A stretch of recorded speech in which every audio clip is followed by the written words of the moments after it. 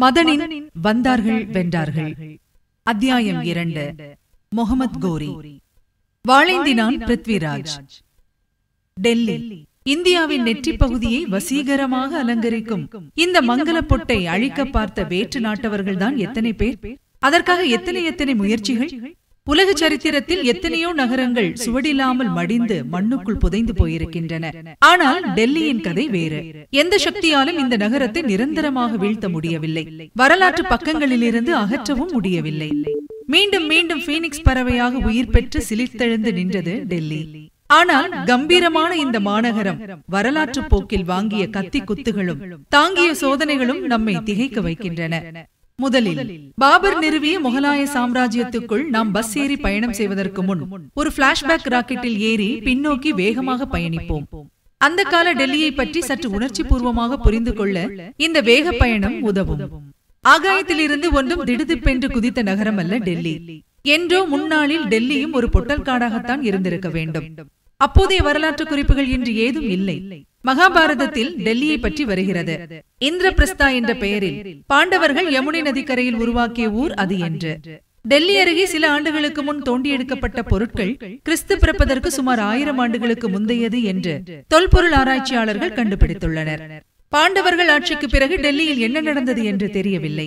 கிமுவில் வந்த Megasthenes ஹுவன் Chuang போன்ற புகழ்பெற்ற வேற்று நாட்டு பயணிகள் கூட டெல்லியை பற்றி ஏதும் தாங்கள் எழுதிய விவரங்களில் குறிப்பிடவில்லை முறையாக எழுதப்பட்ட வரலாற்றின்படி கிபி எழுநூற்று முப்பத்து ஆறில் டெல்லியை ஒரு ஊராக உருவாக்கி உருப்படியாக உட்கார்ந்து ஆட்சி புரிந்தவர்கள் தோமார் என்று அழைக்கப்பட்ட ராஜபுத்திரர்கள் தான் அப்போது அந்த ஊருக்கு வைக்கப்பட்ட பெயர் தில்லிகா. ஆரம்பத்தில் ஹரியானா பகுதியில் வாழ்ந்து வளர்ந்த இந்த ராஜபுத்திர வம்சத்தின் புகழ்பெற்ற மன்னன் ஆனந்த் பால் இன்று குதுப் மினார் உள்ள பகுதியில் தான் லால் கோட் அதாவது சிவப்பு கோட்டை என்று வரலாற்றில் குறிப்பிடப்படும் பெரும் கோட்டையை ஆனந்த் பால் கட்டினான். அந்த கோட்டைக்குள் நுழைய ஒன்றுக்கு மேற்பட்ட வாயில்கள் இருந்தன. பிரதான வாயிலில் இருபுறமும் கல்லில் செதுக்கப்பட்ட பெரிய சிங்க பொம்மைகள் காவல் புரிந்தன.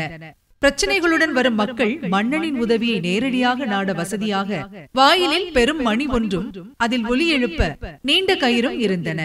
கோட்டைக்குள் மையத்தில் படமெடுக்கும் நாகப்பாம்பின் சிலையை பெரும் பீடமாக்கி. அதன் மேல் வானுயர்ந்த ஸ்தூபி ஒன்றையும் கட்டினான் ஆனந்த்பால் மன்னன். அதாவது இந்துக்களின் புராணப்படி பூமியை ஆதிசேஷன் தாங்குவது போல்.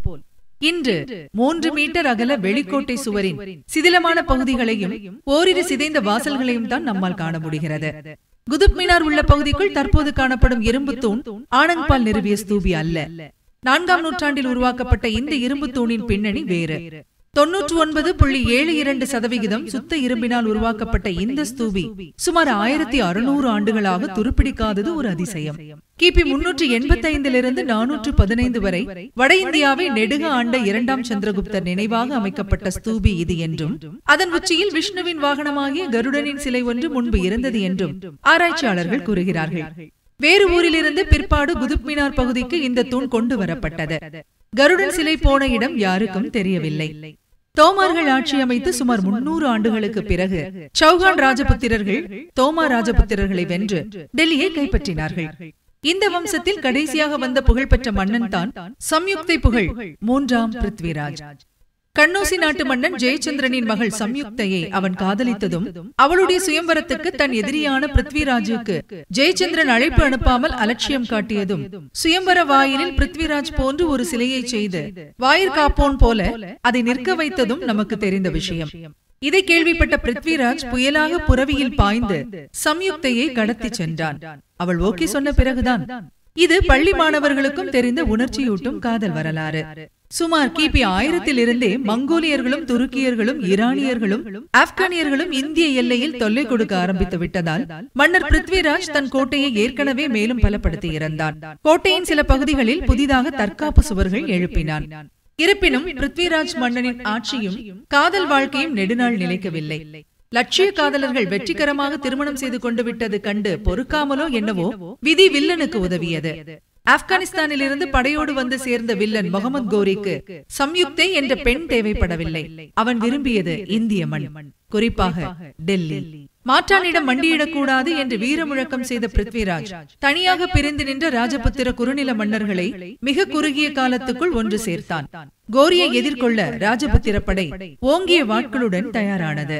ஆயிரத்தி நூற்று தொன்னூற்று ஒன்றாம் ஆண்டு கடைசியில் டெல்லி அருகே நடந்த யுத்தத்தில் ராஜபுத்திரர்களின் படையின் வீரத்துக்கும் ஆவேசத்துக்கும் முன் தடுமாறி தோற்று ஓடியது ஆப்கன் படை.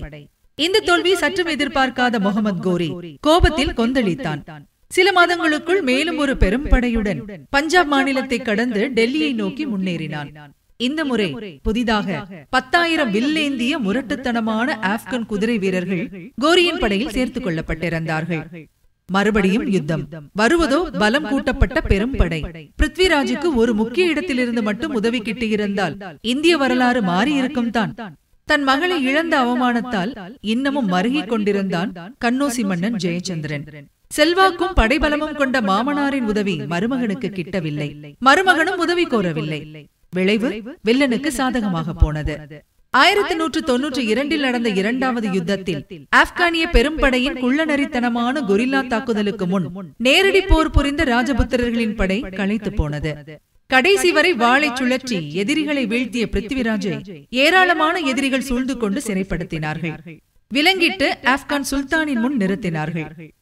முதல் யுத்தத்தில் நம்மை மண் கவ்வ வைத்த அந்த ஆபத்தான வீரன் இவன் தானா? என்ற நினைப்பு பகீரென மனதில் ஊடுருவியதோ என்னவோ முகமது கோரி ஆணையிட கம்பீரமாக நின்ற அந்த நிராயுத பாணியான ராஜபுத்திர வீரனின் தலை இரக்கமே இல்லாமல் உடனடியாக வெட்டி வீழ்த்தப்பட்டது. ஆம். ரத்தச்சேற்றில் கிடந்த ஆயிரக்கணக்கான ராஜபுத்திர மாவீரர்களின் உயிரற்ற உடல்களை தாண்டித்தான் முகமது கோரியின் படை டெல்லிக்குள் வெற்றி பிரவேசம் செய்ய முடிந்தது. அரண்மனைக்குள் பிரவேசித்த அந்த அந்நிய நாட்டு மன்னன் திகைத்து போனான். அங்கே ராணி சம்யுக்தையும் நூற்றுக்கணக்கான ராஜபுத்திர பெண்களும் தீக்குளித்து தங்கள் மறைந்த கணவர்களுடன் ஏற்கனவே வீர சொர்க்கம் புகுந்திருந்தார்கள். கண்ணூசி மன்னன் ஜெயச்சந்திரனையும் முகமது கோரி விட்டு வைக்கவில்லை. கண்ணோசி தரைமட்டமாக்கப்பட்டது. ஜெயச்சந்திரனும் கொல்லப்பட்டான். என்னதான் மனஸ்தாபம் இருந்திருந்தாலும் மருமகனின் உதவிக்கே போகாத இந்த துரோகி இன்னும் ஆபத்தானவன். தீர்த்து கட்டுங்கள் இவனை. என்று ஆப்கான் மன்னன் குற்றம் சாட்டிவிட்டு கொன்றானா என்று தெரியவில்லை. சில நிமிடங்கள் நாம் சிந்திக்க வேண்டியிருக்கிறது. இந்திய வீரர்களுக்கு என்ன குறைச்சல்? முன்னேறிய நாகரீகம் மதிநுட்பம் வாய்ந்த அமைச்சர்கள் படைபலம் முறையான போர்த்திட்டம் எல்லாம் இருந்தும் ஏன் அந்நிய படையெடுப்பின் போதெல்லாம் வெற்றிகளை விட தோல்விகளை இந்தியர்கள் தழுவ நேர்ந்தது. சரித்திர ஆராய்ச்சியாளர்கள் இதற்கு சுவையான பரிதாபமான பல காரணங்களை கூறுகிறார்கள். இதுவரை நீங்கள் கேட்டது மதனின் வந்தார்கள் வென்றார்கள். மீண்டும் அடுத்த அத்தியாயத்தில் சந்திக்கலாம்.